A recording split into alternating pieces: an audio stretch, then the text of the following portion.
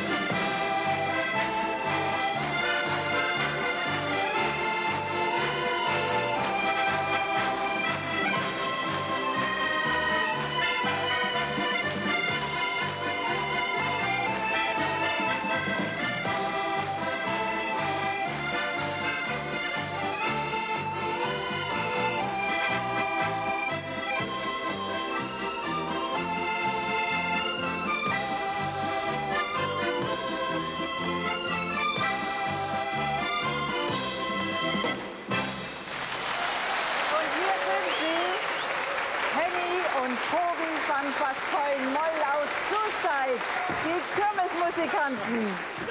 Schön, dass ihr da seid. Jonge tijd vergeet niet, waar? Spurlos an einem vorüber. Das Einzige, was man immer sieht, das sind die Frisuren, die sich ein bisschen ändern. Sogar bei den Männern. Auch noch, ja, genau. Zie je? Oh, ja, schön. Het eerste Fernsehen war das. Oh, wir haben Nachten nicht geschlafen. Oh, wir haben gesittet. Also inzwischen habt ihr euch ein bisschen dran gewohnt, denn ihr sind ja Stars, seid ihr geworden. Im holländischen Fernsehen, im deutschen Fernsehen. Aber dieses Lied Tulpen aus Amsterdam, das hat euch begleitet durch all die vielen Fernsehjahre. Dat stimmt. Wenn wir dus Tulpen aus Amsterdam spelen, dan denken we immer aan Holland, aan de tulpen. Und dieses Jahr Zeit blühen die in ganz Holland. Und vielleicht denken Sie, meine Damen und Herren, Tulpen aus Amsterdam ist ein hollandisch Lied. Nein, es ist ein deutsches Lied. Aha, das heißt also von einem Deutschen komponiert, Genau. von Klaus-Günther Neumann.